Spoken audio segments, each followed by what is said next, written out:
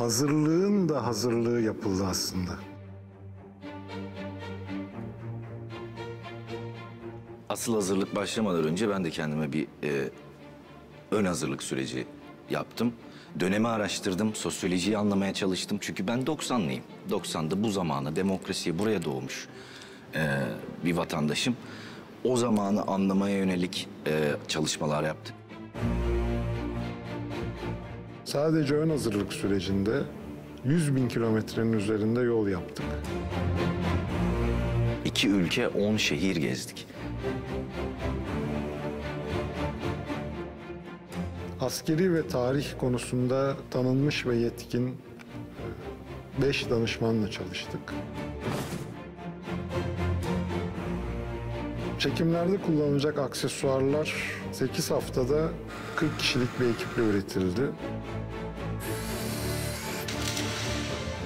1000 adet döneme uygun, dönem tasarımı ateş eden silah üretildi.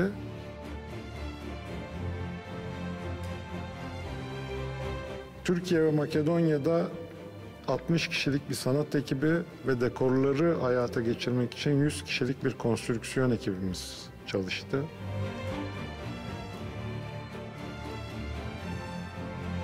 Dekorlarımız iki ayrı film platosunda 5000 metrekarelik bir alana yayıldı.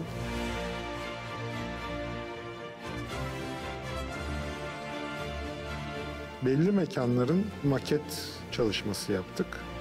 Sadece maketlerin hazırlanması 5 hafta sürdü.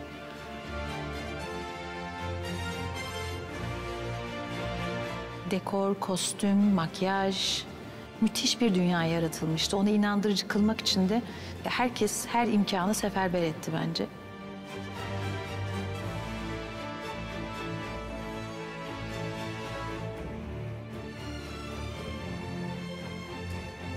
Çanakkale Savaşı'nı anlattığımız Gelibolu sahnelerimiz için 800 kişilik bir figürasyon ve 300 kişilik bir stand ekibi yer aldı.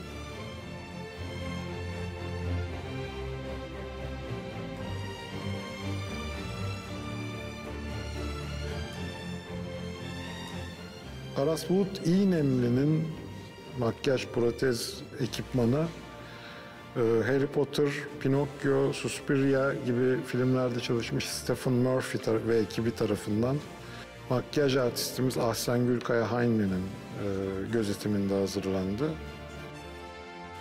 İnanılmaz makyajlar ki benim her gün zaten makyajım iki buçuk saat, üç saat sürüyordu.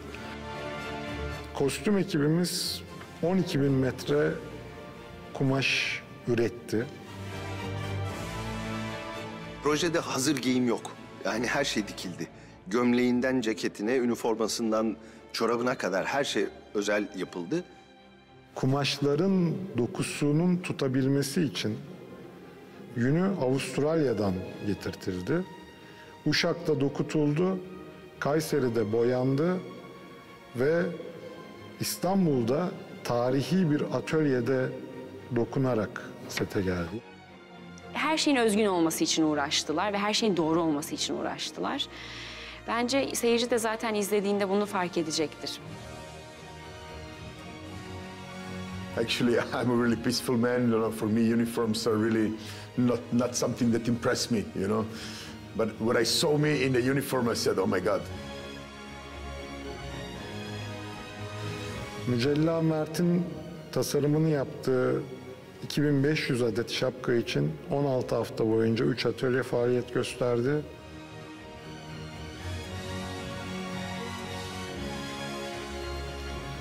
...300 adet Anzak askeri şapkasını Avustralya'dan getirttik. Orijinal şapkalar.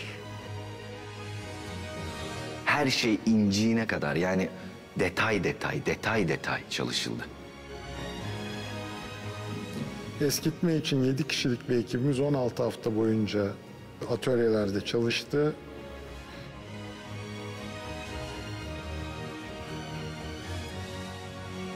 Post prodüksiyon ekibiyle çekim öncesi 150 saatin üzerinde toplantı yapıldı.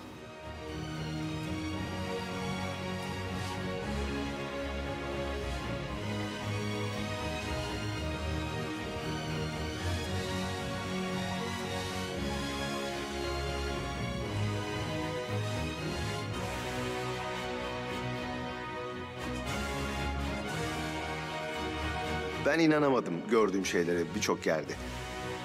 Bu kadar gerçek olabileceğini hayal etmeye çalışıyordum ama gözümün önüne gelmiyordu. Sanat ekibimiz, kostüm ekibimiz, bütün ekip e, ne kadar gerçek olabileceğini o dekorun bana gösterdiler.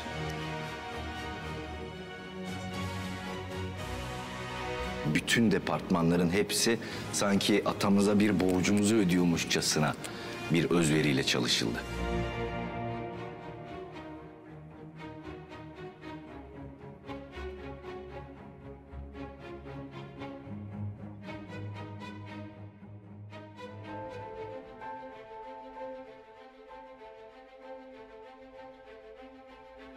İlk önce bilgi olarak bu projeye hazırlanmamız gerekti. Yani biz Atatürk'ü ne kadar biliyoruz diye bir ders çalışma süreciyle başladı.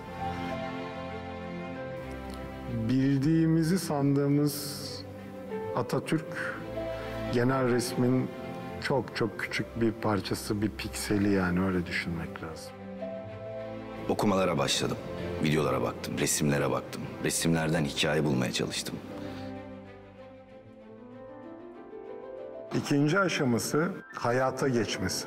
Yani bütün bu bilginin teknik ekibe ve oyunculara aktarılması ve onların kendi hazırlıklarını başlatmaları süreçleri başladı.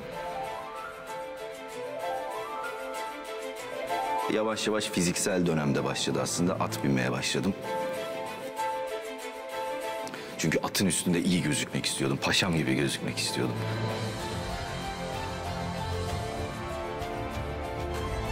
Dans eğitimi aldım.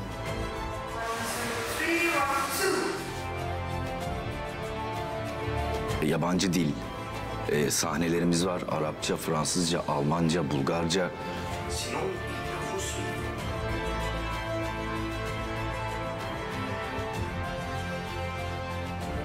yaşamış, e, Türkiye'de büyük etkiler yaratmış kişileri oynuyoruz. Dolayısıyla ben hem e, Paşa ile ilgili yazılmış ne kadar yazılı basıl, basılmış e, kitap varsa onlardan faydalandım. Yazılmamış, basılmamış olanları da tarih danışmanlarımız sağ olsunlar. Onlarla istişare ederek birçok bilgiye ulaştım. bolca bir okuma provası süreci oldu. Uzun bir süre.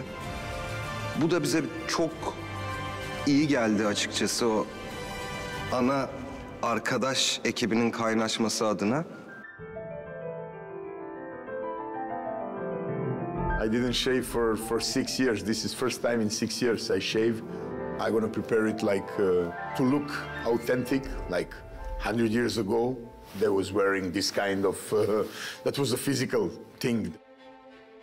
Okay, I have to be a father of 27 years old girl. That's also like for the first time for me to play that kind of role, you know, to play the role of the father. I watched a lot of documentaries, movies, and TV series about those times, and it was really fun and interesting to see how they lived back then. tören kıyafetlerinin giyildiği ve e, protokole göre nasıl davranılacağı, jestlere kadar sorup danışıp ona göre icraya geçiyorduk. Bu oyuncu hazırlığıydı, kasla yaptığımız hazırlıktı. Bunun dışında teknik ekiple de aynı şekilde bir hazırlık yaptık.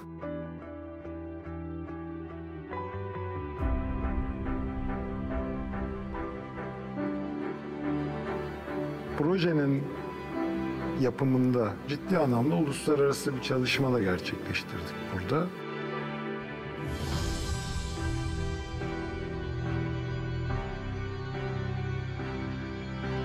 Herkes yüreğini koyarak e, çalıştı. Yapabildiğinin en üst performansını gösterdi bence.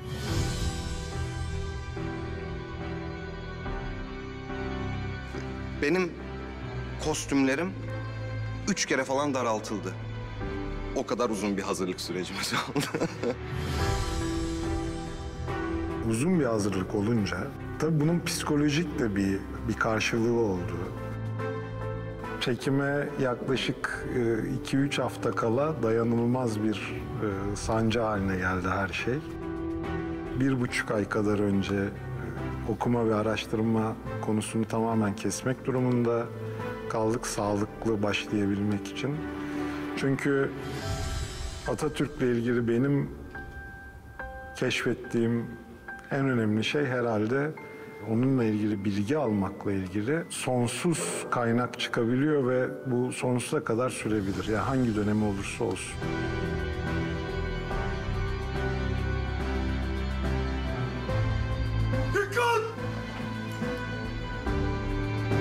ordular, savaşlar, mekanlarla dolu bir hikaye. Dolayısıyla kesinlikle zaten uzun olması gerekiyordu bu hazırlık sürecinin hakkıyla yapabilmek için.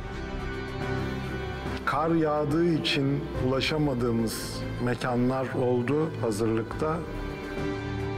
Sıcaktan bunalıp e, buraya daha sonra bakalım dediğimiz mekanlar oldu. Bunlar aynı projenin hazırlığında. Daha sonra da çekim sürecinde de aynı dertleri yaşadığımız bir e, devasa bir süreçten bahsediyoruz Atatürk süreci içinde.